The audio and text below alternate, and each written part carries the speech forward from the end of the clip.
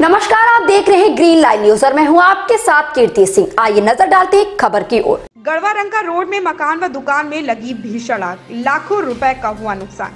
Garhwa Ranka road चश्मा घर के आगे आरोग्य फार्मेसी के समीप कृष्णा मेहता के घर व कई दुकानों में बुधवार को समीप करीब सात बजकर पंद्रह मिनट पर आग लग गई। आगजनी की इस घटना में लाखों रुपए का नुकसान होने का अनुमान है। दमकल विभाग का गाड़ी पहुँच चुका है। आग पर काबू पाने का प्रयास जारी है।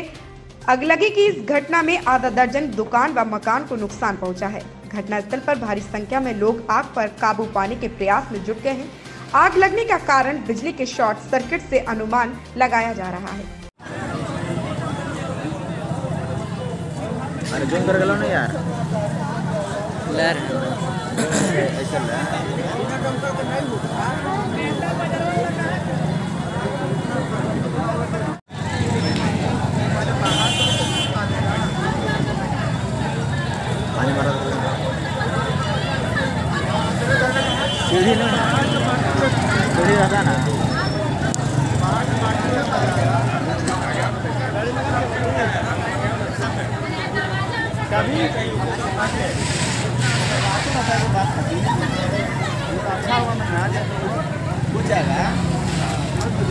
ये बुझ जाएगा बुझ जाएगा बुझ जाएगा।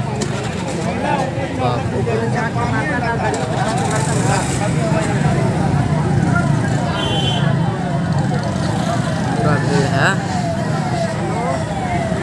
ऐसी खबर से जुड़े रहने के लिए आप देखते रहिए green line news. Ranchi oxford public school का ब्रांच गढ़वा शहर नारायणपुर टंडवा में खोला गया है। प्री नर्सरी से क्लास सिक्स तक नामांकन प्रारंभ है जहाँ बच्चों के लिए डिजिटल व AC classroom hitech computer lab एवं बस की सुविधा उपलब्ध है।